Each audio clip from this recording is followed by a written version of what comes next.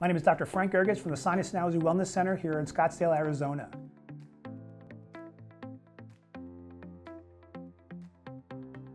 This time of year, it's springtime, and we're seeing allergy pollen. Allergies that are bothering our nasal cavities and our airways right now would include tree pollen, grass, and weeds. Oftentimes, patients are asking me if there's things that they can do outside of the traditional medical therapy to try to help to resolve their allergy symptoms.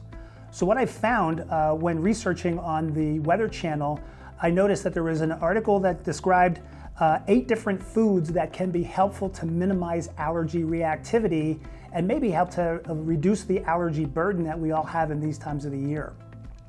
So the first one was fatty fish. So some of this fish would include salmon, mackerel, tuna, and trout. Uh, these foods have high uh, concentrations of omega 3 fatty acids that have been shown to ease allergy inflammation inside the nasal cavity.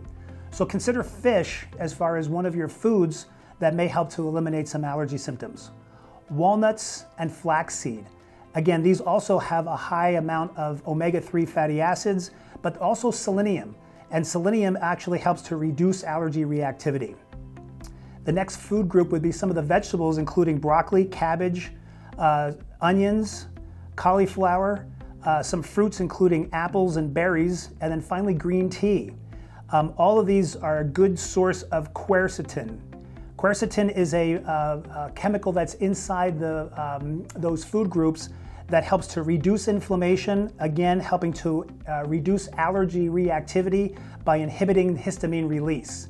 So these food items can also help us feel better during allergy season.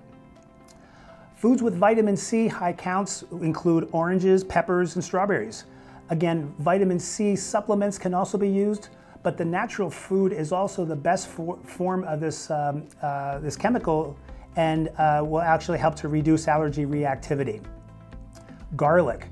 Uh, I'm a big fan of garlic. Uh, my wife lets me know that if I eat too much garlic, um, but garlic also uh, helps to reduce allergy reactivity. It blocks certain chemicals in the allergy cascade.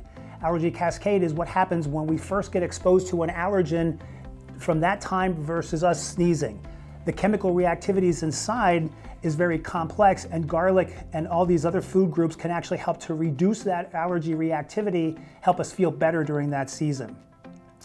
Yogurt. Yogurt is a good source of um, natural probiotics. These help to reduce inflammation, help to um, reduce the allergy inflammatory changes that take place when there's a high immune uh, response. So again, probiotics can be helpful to help eliminate the risk for infections, but also inflammation in our airway. Turmeric. Turmeric is a spice that also is a very powerful anti-inflammatory food. So again, this food item and um, ingredient in our uh, cooking may actually help us to reduce our allergy reactivity. Then finally, magnesium.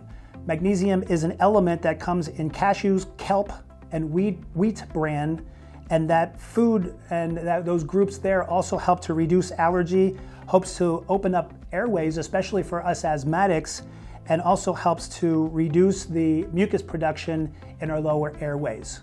So if you have allergies, think of these food groups and include those in your uh, daily food choices to help minimize allergy reactivity.